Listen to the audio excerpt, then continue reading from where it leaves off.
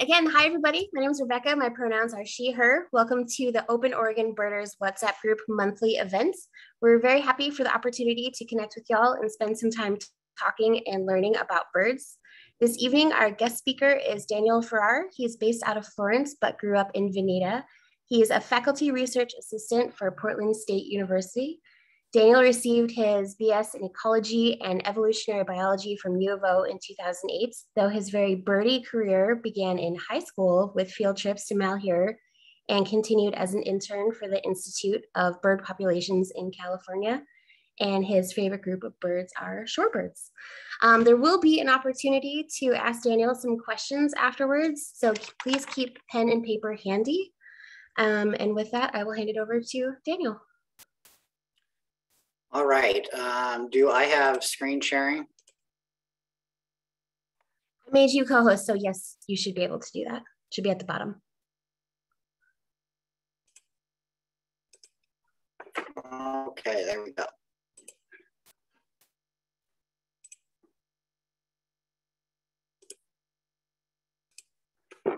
Okay, good evening, everybody. Um, thank you for coming. Uh, thank you, Rebecca, for organizing and setting up this evening. Uh, and thank you, Jack, for hosting. I think he is here hosting.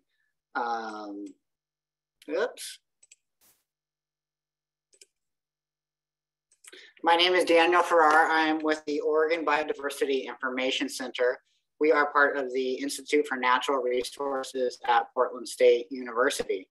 And I just want to give a, a, quick shout out to the whole Plover team at Oregon because it's not very big, on our team is our director, Eleanor Gaines, and then field biologist Dave Lauten, Kathy Castelein, and Mary Lee.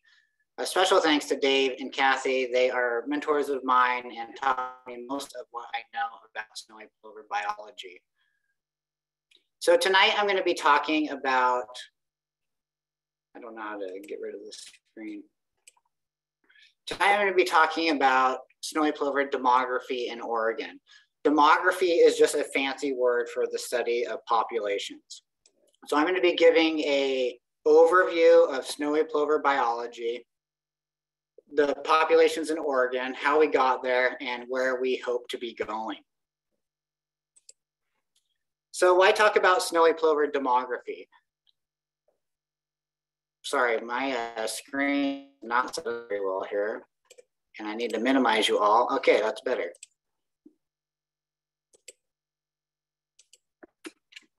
Uh, we're going to talk about snowy plover demography because we are in the midst of a biodiversity crisis globally. There are similar problems across most taxonomic groups. So in this slide, which is not at all a slide of snowy plovers, we have on the left Martha. Martha was the last known passenger pigeon. She sadly died in the Cincinnati Zoo in 1914. So none of us will get the privilege of seeing one of those birds. And so we want to try to prevent that thing, that type of thing of happening with future species, including things like the top right, which is a monarch butterfly, and the bottom, Oregon state bird, the western meadowlark, both of which have seen serious population declines in recent years. But the snowy plover in Oregon is a conservation success story. So here we have a picture of a, a, a, female plover. You can see that they're much drab. They're very drab compared to males. We'll see a picture of a male soon. And we have a range map of the western snowy plover across North America. And contrary to some beliefs, there is actually only one subspecies of snowy plover in North America. So any plover that you see in the United States is going to be a western snowy plover. There is this little outlier group over here in the Caribbean, and there's some pretty recent genetic work that argues pretty well for that to be split into a third subspecies. And there's actually some genetic differentiation between this eastern population of western snowy plovers and the western population of snowy plovers. So far, there's not enough genetic differentiation and there's enough gene flow between those two groups that they're not able to split them into their own subspecies. And the second subspecies occurs on the west coast of South America. Tonight, we're gonna mostly be talking about snowy plovers along the very west coast of the United States and Mexico. And this segment of the population was listed as threatened by the US Fish and Wildlife Service in 1993 and is considered a distinct population segment. By the early 1990s in Oregon, there were fewer than 50 plovers along the entire Oregon coast. So there were very few birds on the Oregon coast not that long ago. So let's talk a little bit about some snowy plover biology. The snowy plover is the world's smallest plover. For reference, they're a little bit smaller than a robin, a common bird that most folks know and are very familiar with. And snowy plovers are present year round in Oregon, especially along the coast. Some of those birds are short distance migrants and they will migrate down to California, but others are actually resident birds and they remain in Oregon on the coast throughout the winter. And just like you saw in that last slide of distribution, there are eastern and western birds in Oregon. And the East Coast population is a fully migratory population in Oregon. And so those birds migrate out about this time of year and they migrate down to Southern California and Northern Baja for the winter. The snowy plover is adapted to open ephemeral environment they rely on crypsis or their camouflage and to stay hidden from predators and early detection of those predators to be able to get away. Snowy plovers are actually little predators themselves, and they feed primarily on invertebrates on the beach. And these invertebrates include things like amphipods, the little beach hoppers that you see when you're out at the beach, various flies and marine worms, and a whole list of other species that I'm not going to bore you all with tonight. They primarily hunt for these species at the water's edge and also in the rack line. The rack line is that, that row of debris you see on the beach that's created by the high tide line.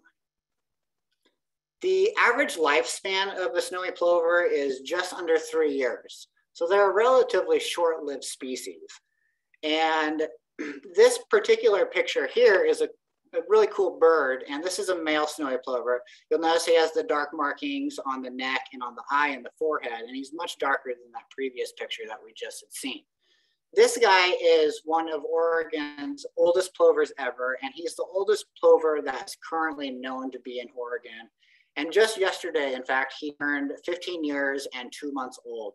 So he's quite an outlier from that average lifespan of 2.9 years. And the interesting part about their lifespan is that they have a pretty high predation rate when they're younger and they're trying to figure out life still. But if they can make it past that average of 2.9 years and get to the five year or so range, they can actually live pretty long. And we have a good number of birds in Oregon that, that have made it over the 10 year mark. So more on breeding biology. Uh, here we have a couple, a couple cute pictures. One is uh, of a freshly hatched net, nest. And so you can see how camouflage the chick and the eggs are to their surrounding environment. And a little funny uh, snippet, female snowy plovers leave their mates as soon as the chicks hatch. I'll call um, so they're ground nesters. They almost always lay three eggs on the ground and they create a small depression that we call a nest scrape. And this depression is about the size of a baseball. So imagine taking a baseball out to the beach and dropping it into the sand and then picking it up. And that little depression that the baseball made is about what a snowy plover nest looks like. They will also sometimes line that nest bowl with, or nest cup with little small white eggshell fragments like you can see around the nest in this picture. And we believe that is so that they can break up the shape of the eggs and the chicks and make their, make their nest area more camouflaged than it already is. Once eggs are laid, both parents, the, the male and the female, share in incubation duties. Incubation takes about 29 days. So the, the eggs are laid and they're not laid all the same day. It usually takes about three days to lay. And then 29 days from the second egg until they all hatch. And they generally hatch pretty synchronously. And there's advantages to this, which we'll talk about a little bit later. Um, during the daytime, the female generally incubates the eggs. As you'll recall, she's a little bit drabber than the male And her back coloration is very well suited to match the color of the sand. And so she's a little bit harder for predators to detect during the daytime. And that keeps the nest a little bit safer. And then the males, meanwhile, with their more bold markings, they'll sit on the nest during the nighttime. And by sharing duties like this, it allows both parents to go feed and take care of themselves and get the rest that they need. Once these eggs hatch, and, and as we mentioned, they all hatch simultaneously, they generally want to get away from that nest as fast as they can. And usually what happens is the female snowy plover at that point will abandon the brood and she'll go off so that she can re-nest with another male from a different area. Um, and, and that way she can have multiple nests per year. Uh, and so that brings me to a little story on a couple birds that I know from the 10 Mile Creek area of Coos County. Uh, each of our birds are banded, which we'll talk about later. And these particular birds were the male is banded yellow, white, red, and green, and the female is banded yellow, white, and yellow green. And that was just a total coincidence. And so those two birds actually hatched at 10 Mile Creek, but hatched on opposite sides of the creek from different broods. And then the next year, they went off to different sites to try to make a living for themselves and to try to find a new territory. But for whatever reason, it didn't work out on those new territories. So both birds returned in their third season back to 10 Mile where they met each other. And they paired and they successfully hatched a nest. And once a pair successfully hatches a nest together, they tend to stick together with each other year after year. And so this pair both were long lived birds. The male ended up living 15 years and the female ended up living 12 years. And every year that she was alive, those two birds actually mated together. And so they had a love affair that lasted 11 years on the beach in Coos County. Pretty amazing. Once those little eggs hatch, and we have the, little, the cute little chicks that you see there, the chicks are precocial. So when I say precocial, think of chicken chicks. They are born fully feathered and they are able to get up and run around and feed themselves within just hours of hatching. And so mom takes off, but they still need dad to take care of them and watch out for them. And so dad does several things for them he leads them away from that nest pretty quickly. And that's why it's important that those eggs hatch together because they don't want to stay at that nest site if they don't have to, because it's much easier for them to hide if they get away from that area and can spread out from each other a little bit. So he'll pretty quickly lead them to food sources where he does not feed them, but he just shows them where to get the food and they do all of the capturing and eating on themselves. It's pretty amazing to see. He'll also do a thing called brooding them um, because when chicks are born, they have a really hard time thermoregulating themselves. In other words, they have a hard time maintaining the body temperature that they need to to stay alive. And so he'll keep them warm. And the way that works is the chicks will come to him and they'll kind of nuzzle up into his chest and they'll get under his feathers and they'll get onto his brood patch. And that brood patch is a vascularized piece of skin that allows him to keep the chicks warm. And females have this as well. And it's also how they're able to incubate eggs and keep the eggs warm. One of his other primary duties, and maybe one of his most important duties, is that he acts basically like a for the chicks. And so he is constantly on the lookout and very aware. And so if you're ever out the beach and you see a male with chicks, you'll notice he's very active, looking very alert, doing a lot of head bobbing, trying to judge distance. But his job is to alert the chicks of predators. And a lot of times that predator is me to him. Unfortunately, they don't feel about me the way that I feel about them. And so he'll stick with these chicks until they get to fledge age, which takes about 28 days. And they can't always fly at 28 days. Sometimes it takes a little longer, more like five weeks. So sometimes he'll stick around a little longer than that 28 days or four weeks, um, and as long as six weeks in some cases. But once the chicks fledge, the dad also is able to go off and find a new mate because remember, his mate went off to find a, a mate at a different site, most likely. And he's able to find a new mate at his site because males really like the sites where they where they raise chicks. And he's able to attempt a second brood in that same year. The chicks once they fledge are pretty incredible. If they survive the winter they will actually return and try to find a territory of their own not necessarily at the same site. Sometimes they'll go to other sites but sometimes they do return to the site where they grew up and they'll actually end up trying to breed and have eggs before they even reach one year old. So this is a high risk, high reward ground nesting strategy. They lose many nests and many chicks to predation and weather, but they're able to re-nest readily and have multiple broods per season. So typically, if a nest is failed due to predation or weather, that pair will stay together and they'll attempt another nest. And they can do this multiple times throughout the season until they're successful, at which point that's when the female will leave. So you might be asking yourself, if they're so good at nesting and they're able to have multiple broods per season and multiple nests per season, then well, why are they in trouble? Well, the reason is multiple and there's there's three big reasons for that. And those three big reasons are habitat loss human disturbance and increasing predation. So let's talk about those in a little more detail.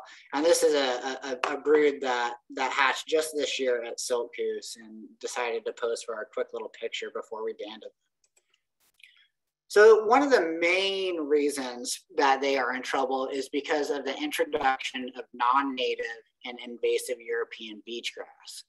And you might be wondering, why did we introduce this non-native species? Well, 90 years ago, as the West Coast was being developed, it seemed like a great idea to be able to go out to the coast, because as you all know, we have a beautiful coast in Oregon, and people like to go out to the beach and they like to have roads to get out to the beach. And once you've traveled out to the beach all day, you don't necessarily want to go home. You want to stay in a house or in a hotel. And so cities were popping up on the coast. And so we introduced the grass actually to stabilize the dune so that we can have those things out on the coast. But unfortunately, we weren't really aware of plover ecology at the time, and we weren't really aware of what kind of negative impact in the long term it would have. So what is good habitat for Well, they like wide open beaches with very sparse vegetation. And this is a great picture of that. You can see that there's vast amounts of sand and there's just little patches of vegetation here and there. And those little patches of vegetation provide great camouflage for the plovers and for the chicks, but they provide very little cover for the predators. And unfortunately, most of the Oregon coast does not look like this anymore because of the introduction of that grass. And so the picture on the right is a picture of what a lot of our beaches look like today. And, and this change, this alteration was caused by the introduction of that beach grass, which is very unsuitable for the plovers. The beach grass, as it grows, forms a very dense mat of grass that the chicks are not able to navigate and that the adults cannot lay. And as the grass grows and is continually covered by the sand, because it's always windy at the coast and the sand is always blowing, it covers up the, that grass and that grass wants to keep growing. So it will keep growing above the sand.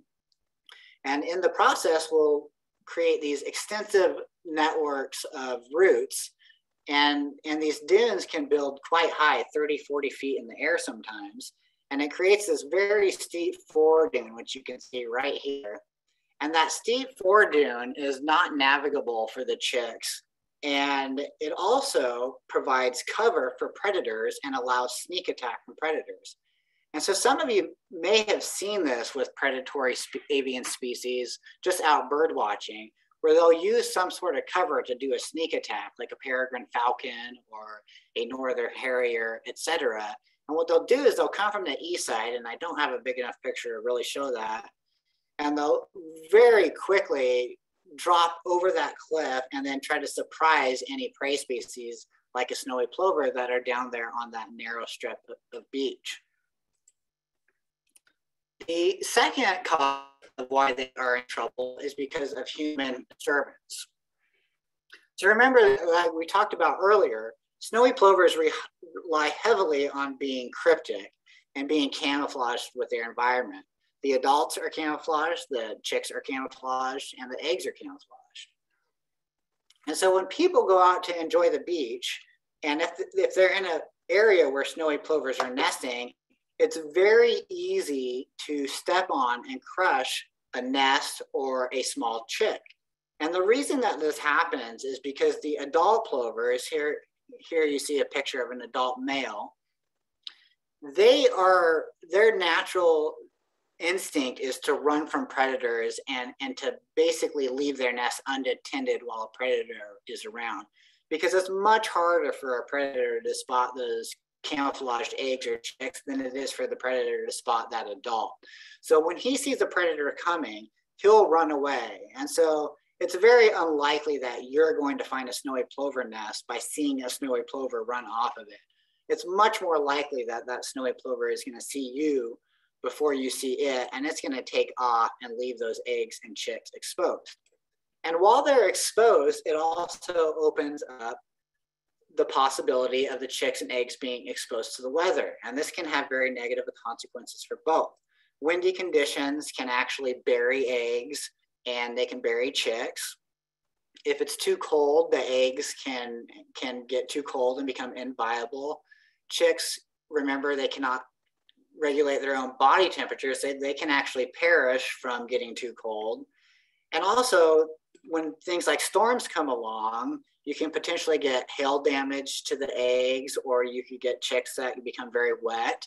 And when when you're very wet, it very quickly removes your body temperature, your the heat from your body.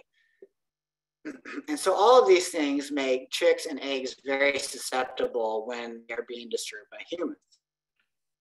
The third aspect to why snowy plovers have declined in Oregon is because of predators and in particular synanthropic predators. And that's just a fancy word for predators that benefit from human presence. And so the primary predators that we're concerned about out on the beach are things like crows, ravens, and red fox, all of which do very well around humans. And so right here we have a quick little video and this is going to illustrate just how effective those predators can be. And this is a raven depredation. And so you see in the circle, there's a snowy plover sitting on a nest. And this is a time-lapse video, but this whole event only takes about 90 seconds. It'll be much quicker than that on your screen, but you'll see how this works. So you can see the snowy plover constantly looking around for predators. And when that raven comes, it runs away to try to hide but the ravens are very smart and they're very efficient predators. And I'll play it one more time because that was quick. And so the raven is able to actually spot that snowy plover leave, and then it's able to go right up to where that nest was, take an egg, and then quickly return and take the other two eggs. And so all of these factors are very intertwined and and the, the, predators have an easier time because there's less habitat and there's less habitat because of the human disturbance. But snowy plovers are survivors and they are well adapted to their natural environment. And you can see that in this picture here. This is a snowy plover chick, which I'll circle with my little pointer. And he, it, it is very well camouflaged to this piece of wood that it decided to hide behind. And those guys are very tiny. They're about the size of a cotton ball with two Q-tips for legs and they are extremely hard to spot. And so if a chick can get hidden, it's got a really good chance of survival. So they're very well adapted to this environment and they just need a little help from us to survive in the face of these caused alterations. And so what can we do on a large scale to help the snowy plovers? We accomplish this through agency management. And agency management is multi-pronged and one of the biggest aspects of what they do is habitat restoration. And so this is a picture of New River Spit down in, I believe, Coos or Curry County. And this is a picture of a habitat restoration area. So you can see the river runs along and then goes out to the beach. And then you've got this kind of donut looking thing of grass. Well, in the center here is the bare area, and that's actually the habitat restoration area. And so what the agencies did, and there's multiple agencies involved in this, including the US Fish and Wildlife Service, the US Forest Service, the Bureau of Land Management, the Army Corps of Engineers, and Oregon State Parks, among others, they come along and they bulldoze this big grassy, what would be a big dune without the work that they did. And then they create these little gaps that you can see in that grass. And once they've created this habitat, it's very attractive to snowy plovers. And the snowy plovers can come in and use that habitat because it very closely mimics their natural habitat. The other thing that this habitat restoration does is it opens up this area to access to the water line. And so when we get big storms in the winter and we get large storm surges and tides, it can potentially actually overwash these areas, which will maintain these areas and can also potentially wash away more of that grass, creating more of that snowy plover habitat. The second aspect of agency management is recreation management and keeping, keeping people out of snowy plover nesting areas. And they do this by implementing seasonal restrictions to beaches that snowy plovers are known to nest at. So you can see some signage here, and it's pretty hard to see in the background, but there's a series of little tiny posts that have ropes around them. And those ropes are marking the area where the snowy plovers nest, and those ropes are meant to keep us out of there. And they're just trying to give the birds a little bit of space to be able to nest in peace. These restrictions are in effect on Plover beaches from March 15th to September 15th. So we're less than a month away from the restrictions being lifted actually. But they only affect about 14% of the entire Oregon coast. So there's lots and lots of beaches and lots of wonderful, beautiful areas on the Oregon coast that you can go out to and not have to be worried about running into snowy plovers or disturbing snowy plovers and so we just ask that if you end up on one of these plover beaches, that you share the beach. And the ways that you can do this are by staying down low in the wet sand, down by the down by the ocean, and by keeping dogs off of these beaches. And we all know dogs love to walk on the beaches and, and run around, but unfortunately, they're very fast and they're very good at running down, particularly juvenile plovers and plover chicks. And fortunately, in Oregon, compliance is really pretty good, which is great news. The third aspect of agency management is, is an integrated predator management plan. And this is multifaceted in and of itself.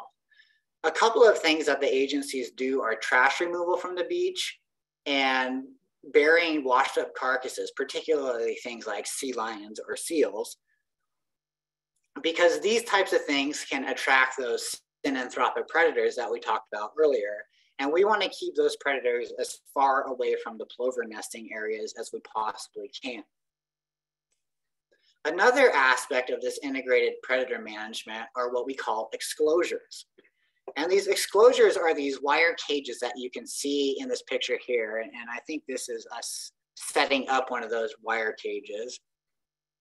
And the way that these work is by completely surrounding the plover nest on every side and from above. And so the plovers really prefer to walk around on the beach when you're out there. If you've ever gone out there and watched them, you've probably noticed that. And so they're actually able to walk through these little gaps in the wire mesh to get back and forth to their nest as they need to. These exclosures do increase nest success or the amount of eggs that hatch. But unfortunately, the chicks are precocial and want to leave that nesting area as soon as possible. And so once they do, they're completely exposed to potential predation. Another negative aspect of these exclosures that we have found is that there is a loss of adults associated with these nest exclosures. And we'll see in a few minutes that adult survival is very important to population growth. And so because of those reasons, we've used fewer and fewer of these exclosures over time. And in fact, now I don't believe we're using any currently. So the final aspect of the integrated plover management, and you've probably heard about this in the news recently with spotted and barred owls, is lethal predator removal. They've been removing barred owl and spotted owl nesting ranges because of predation and other interaction issues. And they've shown uh, recently that it's been very successful in helping to slow the, the population decreases in spotted owls. And, and, and just as in spotted owls, this has worked very well in continuing in decreasing the population declines in snowy plovers and actually has helped to increase the population of snowy plovers. And so this type of predator management not only improves nest success, but it also improves chick survival and fledgling survival. And this predator management is very targeted and, and is very selective and, and is going only after animals like this raven that we see here that are actually in snowy plover nesting areas. And so you can see in that picture that raven has an egg in its beak right now. And so it's it's very selective, but it's also very effective. And because we do not want to see ravens eating all the snowy plover nests, we want to have both of those species in Oregon. So this intensive management over the years has been extremely successful in Oregon. As I mentioned at the beginning of my talk, there were only 50 plovers on the entire Oregon coast, and they were mainly restricted to Lane, Douglas, and Coos counties, with a few birds in northern Curry counties. And back when I started birding, it was pretty hard to see a snowy plover, and you had to go to these very specific spots and hope that you might come across one. But thanks to the intensive management, that has all changed. And today, there are well over 600 plovers on the Oregon coast, and they're actually nesting in all Oregon coastal counties. So all the way up here at Clatsop Spit and all the way down into the middle of Curry County. So we've not only been able to grow the population with management, but we've been able to expand its distribution. And it's now much closer to historic conditions before the introduction of that beach grass and those other issues that we talked about. So while although the snowy plover has not met its recovery goals in other parts of its coastal range, Washington and California, in Oregon, we have actually met those recovery goals and we have more than doubled them, which is really a cool thing and has really been a great thing to be part of over the years. And so now that we've met those goals, one of the questions that we have is can we maintain those populations with less effort? And this is a question that, that the agencies have for us. And so we're asking things like what life stages contribute most to population growth? which management actions are the most important and how can we basically get the most bang for our conservation buck because if we're able to take some of that funding we can potentially move that funding over to other species that are declining in Oregon and are of greater conservation need. So in order to figure this out, we want to look at population growth rate. Population growth rates are controlled by this little BIDE uh, name that she came up with, but basically births, immigration, deaths, and emigration. And snowy plovers don't have a lot of immigration or emigration. So really, we're mostly looking at birth rates and death rates to come up with these numbers. So that leads to a whole list of research questions. How environmental variables and management actions affect the plover at each life stage? What is the contribution of each life stage to population growth? And how do these variables affect overall population viability? and so these are the four life stages of the snowy plover. And we have nest survival, which basically is saying what, how many nests how many eggs are going to make it until they hatch. We have chick survival, which is how many chicks are going to make it until they reach the fledglings and, and, and what's going to affect that. Then we have juvenile survival. How many of those fledglings are going to survive over the winter till the next year to breed again? And adult survival. How many adults are going to be able to come back year after year to breed again in Oregon? So there's a bunch of variables that we call covariates that can affect those life stages. And we are most interested in looking at the management variables, which include habitat restoration, the use of those exclosures or wire cages and predator management, because those are things that we can control. But we also want to look at the environmental variables, such as which site they're at on the Oregon coast, what year, because there's variation from year to year, the seasonality, whether you're looking at summer or winter, for example, the age of the parent, because older parents typically know how to do it better. Population size, with bigger populations, you tend to attract more predators, whether it's a male or a female, which can females lay eggs and males do not, so that can affect their survivability over the year. And the El Nino index, because that has a big impact on what the winter is going to look like. And so in order to do this and get these numbers calculated, we look at mostly productivity and survival because those were the two important factors, remember. For productivity, the way we do that is by going out to these snowy plover nesting areas and running surveys by doing transects and locating all of the snowy plover nests that we can locate. Then we repeatedly visit those nests to determine the fate of those nests and whether or not they're surviving and for how long they're surviving. And this intensive type of monitoring of nesting has been going on in Oregon for 32 years since 1990. To understand survival, we actually go out and we color the adults and the chick snowy plovers. And this allows us to have a unique set of color bands on an individual bird to where we can actually recognize them by individuals. Currently, we have about 80% of the population color banded in Oregon, and that number has been going down over the years as we have had an increasing population and moved more to a sampling scheme to where everything is not being banded. Now we have a solid 25 year data set of these color marked birds, and we're able to use that data set and put it into a modeling program on the computer that accounts for survival and detection called MARK. And it, MARK is a computer program that is meant specific, specifically for this type of analysis. And so when you put that information into MARK, you're creating these encounter histories. And these encounter histories, we have an example of four different birds here with ones and zeros. Well, the ones mean that the bird was observed during that survey period, and a zero means that that bird was not observed during that period. And you can see we don't always see the bird during the survey, even though it was still alive. And so Mark helps us take these encounter histories and then calculate detectability.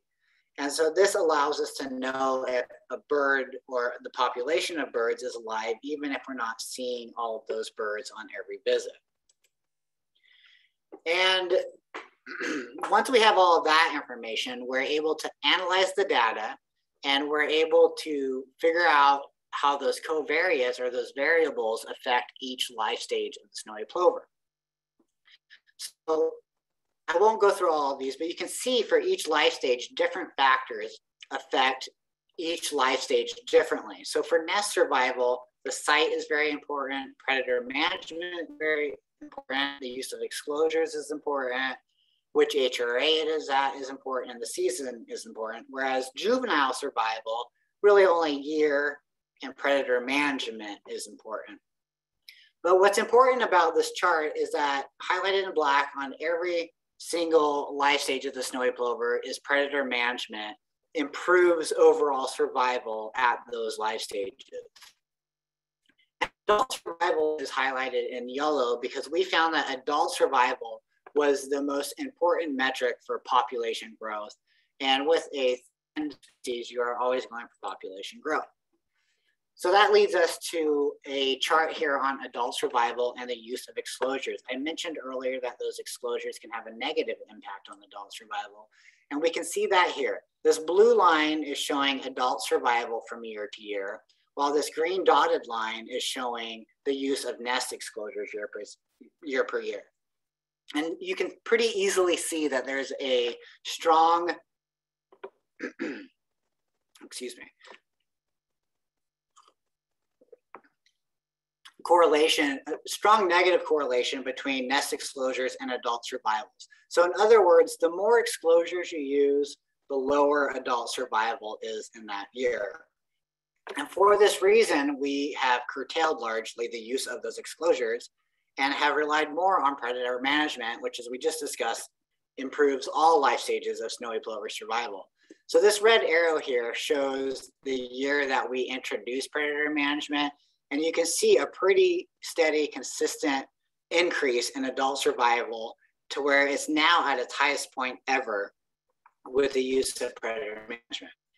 So we wanted to take all of this information and do some projecting of population growth into the future. And so we run a bunch of stochastic models that give different population trajectories. And this is because the model is randomly selecting different vital rates based on the mean and the variability in those estimates that we're making. And it's kind of hard to see, but this little dark line right here is actual plover population. It's actually the male population in Oregon.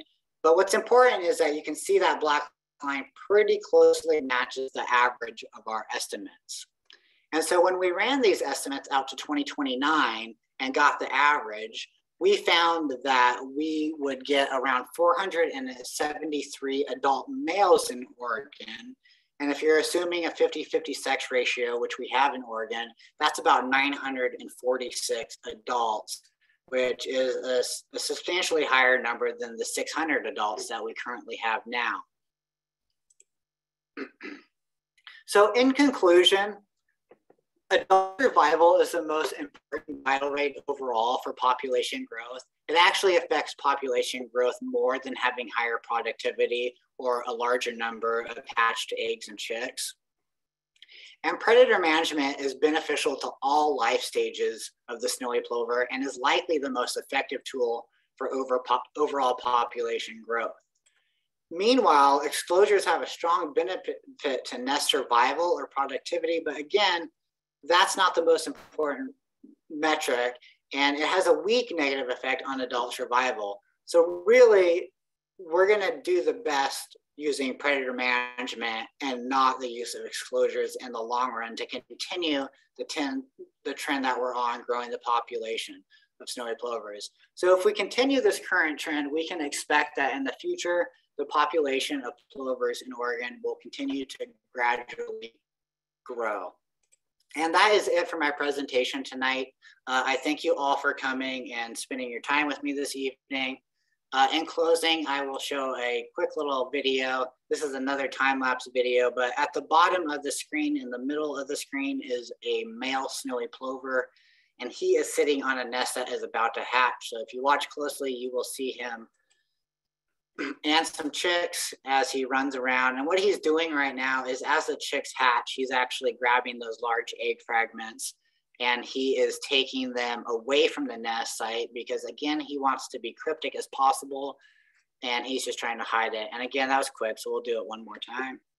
And you can see the little chicks in the nest coming and going. They get very antsy waiting for their siblings to hatch and they want to go around and try to find food. And so that gives us time for questions. And this is also a little pop quiz. And the pop quiz is how many snowy plovers can you find in this picture? Thank you so much, Daniel. That was awesome. Learned a lot of really cool stuff tonight. Um, I would like to encourage folks to hop back on camera at this time. If you want to ask some questions, that would be great.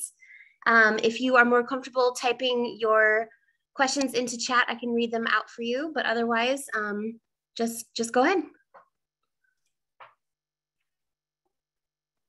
Daniel, early, er, pretty early in your presentation, you said that the, that the males, that the females would sit on the nest in the daytime and the, and the males at, at night. Or that is correct. Well, I didn't even realize they foraged at night. So, so whoever's not on the nest is actually foraging at night. Typically, yes. And uh, not only do they they change day and night like that, but through our camera work, we have actually found that the male will come at about lunchtime or high noon, and he'll actually relieve the female plover mid incubation duties and allow her to go out and forage during the daytime. So while I said the males sit on it primarily at night, they actually do sit on it during the daytime a little bit as well. And it's kind of neat to see them do their little exchange. They have this whole little ritual they do. We do have some questions typed into the chat, so I'm going to read them now. Um, Nancy Thomas asks, are the areas for predator management going to be expanded to new counties? Not that I'm aware of. Um, the the predator management is just focused on the core sites, and those core sites are those sites that you saw on the the slide that showed where snowy plovers are at. So that's going to, as far as I know, remain in Lane, Douglas, Coos, and northern Curry counties. Kelly, they do put in. They do put in. Um, they do restrict beach access on some of those other beaches. So if a snowy plover is found in what they call designated critical habitat, and and there's a there's a whole plan for this and a document for this that if they're found in these areas, they do rope those areas off, but no predator management that I'm aware of. Kelly wants to know what about the enclosures causes the adult mortality? Um, they are exclosures, not enclosures. We're, we're, trying to keep stuff out of the, the nest, not the birds in on the nest. Um, and so what happens in that scenario is it's primarily an issue with avian predators, things like harriers, which are at pretty unnaturally high levels on the coast now because of the, the European beach grass. That, that European beach grass creates that big foredune, which allows a deflation plain to be created behind that foredune, which is marsh habitat, which looks nothing like that picture I showed you of what good snowy plover habitat looks like, but it is very good habitat for harriers um, and other things like peregrine falcons and even great horned owls. Those deflation plains eventually go through succession to where forest is able to grow right behind the foredune. And these aerial predators spot an adult sitting on a nest and they try to sneak up on it and do a sneak attack. And when that happens, the snowy plover's best defense, even though they like to walk away, is to fly away as rapidly as possible because in these scenarios with prey species, if you can stay above a predator like a peregrine or a harrier, you're very likely to stay alive. But if you get below a predator, they're much likely more likely to nab you out of the air. And so you may have seen this if you've seen any any of these predator chases. We saw one on the Lane County Audubon walk a few years ago at the South Jetty, where a peregrine came and tried to attack a wandering tattler and the Tattler was able to gain altitude and get above the peregrine and it started to circle up and up and up into the sky and that peregrine eventually had to give up because it really needed to be above that bird to be able to get that bird. And so what happens in these exclosures is that when they get attacked by one of these avian predators their instinct is to fly away but those cages make it to where they can't fly away and they end up bouncing around in that cage and then eventually figure out, okay, I can't fly away, so I need to try to run away. But unfortunately, by that point, it's generally too late, and the predator is able to pretty quickly nab them. So I've got a couple questions that might be related. Um, Kevin wants to know what does predator management mean in practice, and Beverly wants to know how are the corvids killed? Maybe those go hand in hand. Um, Well, predator management is is multi pronged. Remember, it's more than just the lethal predator removal. Um, so, doing things like the trash removal and the burying of carcasses is also predator management. And so, we're trying to do everything that we can to not attract those predators out there in the first place. Because one of the problems is because of the loss of habitat, the introduction of that beach grass, it has drastically shrunk the areas where the plovers are able to nest and so when predators do come along, they're able to very easily focus in on those small areas and then very efficiently wipe out those areas. And so some of our habitat restoration areas can, we, we might have 10, 15 or 20 nests in those areas and, and a raven or a harrier can come along and clear those out in just a few days, which is pretty dramatic. Um, as far as how the predators are removed, uh, that is conducted by Wildlife Services of APHIS, and they have a variety of methods, um, including trapping and shooting, um, and also just trying to, they, you know, they, they'll always try to get rid of those predators in other ways before they lethally re- remove them. So they might haze them in a variety of ways including shooting at them or just chasing them out of the area. And that, that's primarily how they do it. but that's not something we do. And so I'm not super well versed in that.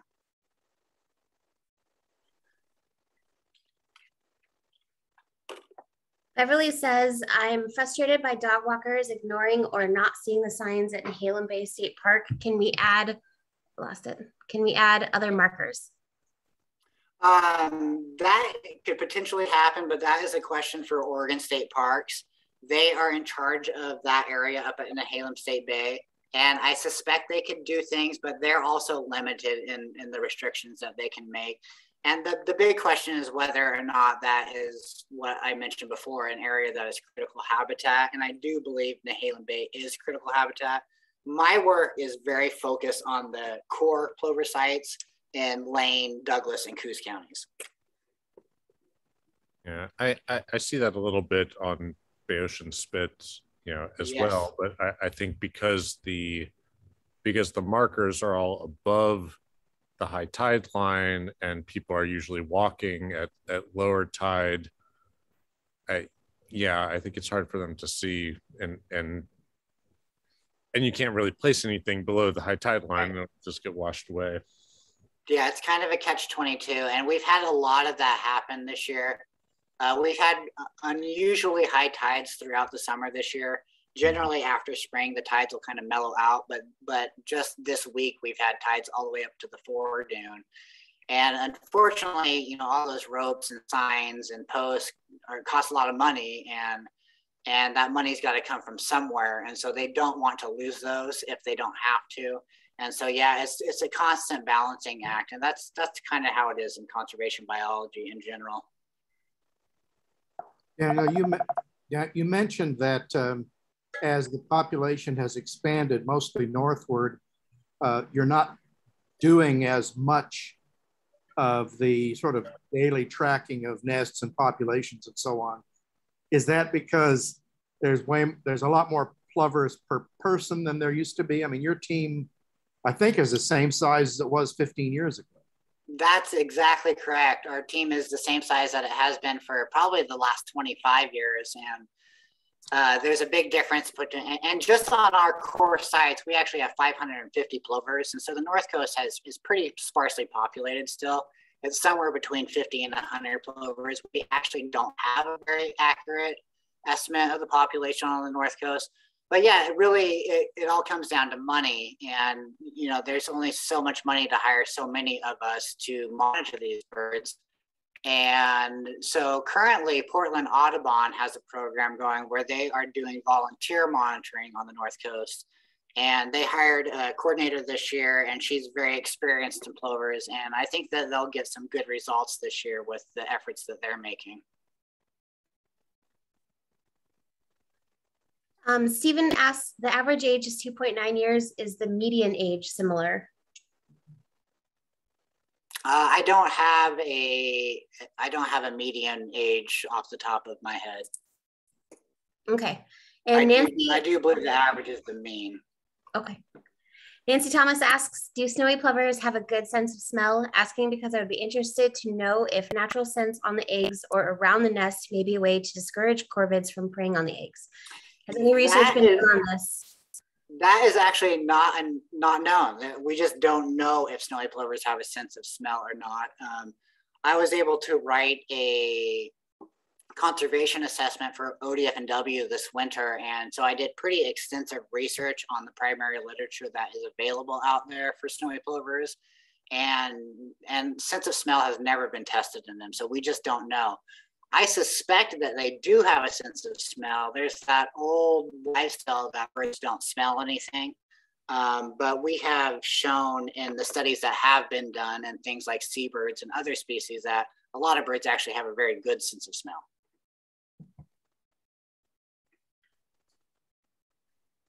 Does anybody else have any questions that they would like to ask?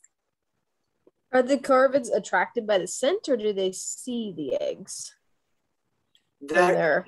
You know that? It depends on the type of corvid you're talking about. Um, ravens are, are, are kind of super predators compared to crows, for example. And so generally the way it works with crows is that crows are attracted out to the sites because a lot of our sites are pretty close to things like campgrounds and parking lots, which have a constant source of garbage. And crows love to pick through the garbage. And when there's no garbage to pick through, they'll start going out to the beach and picking through the rack line on the beach. And if they're not finding anything in the rack line on the beach, then they'll go into the nesting areas. And they kind of operate kind of how we do when we're surveying for plovers. They just walk around in zigzags until they get lucky, really. Um, so I think they're primarily a visual predator. And ravens operate in an entirely different way. They are much, much more efficient. And they're actually also a visual predator. And generally, the way they hunt a snowy plover nesting area is by flying over it. And they'll usually do a straight line because they can cover a whole nesting area in a minute or less because they're such fast flyers. But what they're doing is they're looking for the adult female to get up and run off of her nest when she spots them. And then they cue in actually not onto the adult female because they, they're not good at catching her, whereas the harrier might cue in on her and try to catch her first. And so they'll go right to that spot where they saw the female plover run. And oftentimes that spot is exactly where the nest is. So oftentimes when we find a nest that's depredated by raven, all the only evidence that we'll see at the nest is a set of two raven tracks right at the nest, right where it landed. They'll gulp eggs. They won't leave any sort of egg evidence or anything, and they'll just swallow them or they'll carry them away to cache them for later. So they're they're very effective predators. Uh, something that uses scent to detect snowy plover gnats is something like a coyote. And there is a whole interesting interaction between coyotes and harriers which are again both species that are in in unusually high numbers because of, of human caused alterations. And so a harrier is a visual predator and they'll try to get adults they'll try to get chicks they'll try to get fledglings they'll you know they'll eat whatever they can catch. But if they're not able to catch the adult they're also smart like a raven and they'll go back to that spot where they flush the adult. And then they'll actually eat the eggs. They're not very good at eating the eggs like a raven is. They've got these you know, these big hooked bills. And so they'll usually just kind of pierce into the egg at the nest site and then they'll try to lap up the egg, like the, the egg contents, the yolk or the chick that's in there. And they'll leave a big mess when they do that. Well, then Mr. Coyote comes at night and he and he's sniffing around and he's like, "Oh, what's this interesting mess? There's some some leftover egg here. This looks tasty. Let's let's lap this up." And then they get the idea, you know, if I start looking around, I might find more of these eggs. And so it's kind of a learned behavior in coyotes, but they do use scent to, to, to learn that behavior. Daniel, do you have an answer as to how many plovers are in that photo? I do have an answer, and that's the, that's my next slide, which I, I hope you're still seeing. Whoop. Oh, oh, here we go. Uh, so that has all of the plovers circled in it now, so you can see them much easier. And we count 14 snowy plovers, and I hope we're right. I have not been able to find any that we could not find. So uh, if uh, anybody got that right, they win the prize. They can come visit me on the beach sometime, and I will show them a snowy plover. Wow, secret visits. Um, does anybody else have any any questions before we wrap up for the night? Um, I, I was wondering about what the um, uh, what the what the size of the the the territory, you know, for snow plovers. I mean, I've never seen fourteen, know, at once. Uh, I've you know only at most seen uh, you know two up in the uh, the Bayocean Spit uh, area. So so I'm curious, yeah, like like what what is the spacing of the nests typically um, expected to be? We, we've never actually studied that exact spacing in Oregon. Um, we do consider them to be semi-colonial species. So they actually do like to nest around each other. Um, and so it kind of depends on how large of a nesting area you have and how many birds you have in that nesting area. Some of our small sites, um, that are maybe only a third to a half mile long can have upwards of 20 to 25 pairs in them. So they have relatively small areas that um, that they nest in. And but it's really interesting because they'll often divide that space up like like very dramatically. Like, and so as you go down the beach and you have a nesting area back behind you, you'll often see the same birds kind of in the same sequence on that stretch of beach. And so they, they defend their areas pretty aggressively. But once they're away from their nest, if they don't have chicks, they pretty regularly like to intermingle with each other and they like to flock together because flocking provides another form of safety from predators. And so generally when they're out foraging, they'll all be hanging out together. And, and so sometimes when we're going down the beach, we might see five or 10 males just hanging out together. And we call those little bachelor parties. And they're not really bachelor parties, but they're actually just males that have nests and they're just all out foraging together. And then what you're seeing in this picture with the 14 birds is actually a, a post breeding picture. And so after the breeding season, they really like to flock up and they actually form pretty large flocks. I think our largest flock that we've ever counted was at Siltcoos, and that flock had over 80 birds in it at one point during the winter. And actually, now is a great time to go out to some of these beaches and see some of those wintering flocks. So uh, I'll mention Siltcoos again as a great place to see snowy plovers right now. Uh, their nesting is complete, particularly along the north side of the river. And the, the flock there has been somewhere in the 30 bird range right now. And so if you if you go to the parking lot at the very end and then you walk up and over the hill, you can walk down the beach and look for the plovers. And they're most often up in that rack line. They like to hang out where they have a lot of debris to hide. And so any of the areas where you see big patches of shell, you're likely to find plovers unless it's a lower tide, that's when they'll often go down to the water line to feed. So that's always a great time to look for plovers is in the morning during a low tide, particularly the minus tides when it exposes more of that beach. Sometimes that flock ends up on the south side of the river and they're a little harder to find, but but nevertheless, they're actually they are there right now, whether you find them or not. We've got several folks in here that are that are Portland based. Do you have any recommendations for beaches up around Portland that have a good amount of snowies? I think that uh, is a great spot. I don't know what the conditions up there are right now as far as flocking, um, but they had a pretty good amount of breeding birds this year, from what I have heard. Uh, again, that's not one of my normal study areas, and so I'm not privy to what's going on up there. Um, but I was up there in March when things were getting first getting underway for the nesting season, and there was definitely a good population there. And I, I can't exactly describe how to get to that spot, but it was it was um, just north of the jetty there. Did you just mention Clatsop Spit? You kind of broke up. I did Clatsop Spit, yeah, north of the jetty at Clatsop Spit. Yeah, you have to go to the parking area it's kind of like um, you don't go all the way to the parking area D. It's between C and D. There's a little inlet um, where there's some construction going over some railroad tracks, probably maybe less an eighth of a mile or so uh, west of the parking area D. And then you can you can access the beach there. You people do drive on the the beach, not at the snowy plover area, although some do but um, to go fishing and such, there's access there between C and D, really close to. That sounds very familiar from my memories of March. Yeah, awesome, and thank you.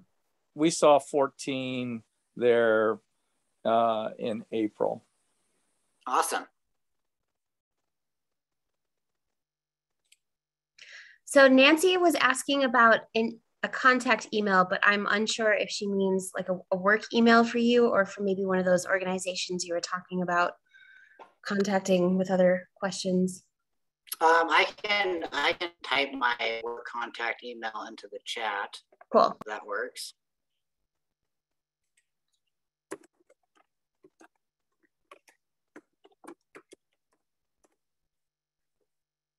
All right, hopefully everybody can see that.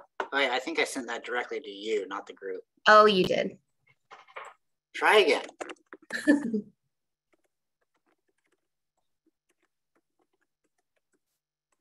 there we go. This has been a great program, Daniel. Thank you so much. My pleasure. Thanks everybody for coming. Yeah, thanks so much, Daniel. And folks, if anybody here is interested in having a presentation themselves, or if you have any topics in particular that you would like to see covered, please reach out to me. Thank and you. that's it for the night. Have a great night. All right, everybody. have a everybody. Thanks, Bex. Bye. Thanks.